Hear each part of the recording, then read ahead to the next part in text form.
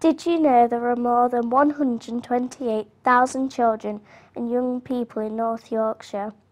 We are responsible for the welfare and education of all children aged 0 to 19 and to 25 for some particular groups of young people.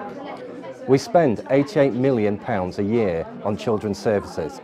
22 million alone of that is spent on home to school transport. The Council also supports thousands of older people and younger adults including people with learning disabilities, physical disabilities and mental ill health, also supporting their carers. We spend £250 million a year on public health and adult social care, including prevention, care and support, working with people so they can live longer, healthier and more independent lives. We also spend £100 million a year on services such as waste, highways and winter gritting which is quite a challenge with 5,800 miles of road to manage and 6,000 tonnes of black bag waste to process every week. Although demand for council services has increased, the funding received from central government has reduced significantly since 2010.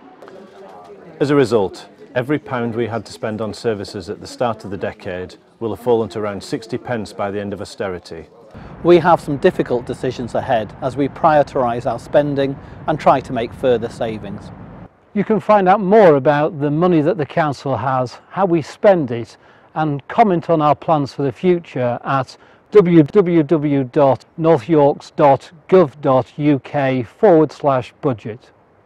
Your services, your say.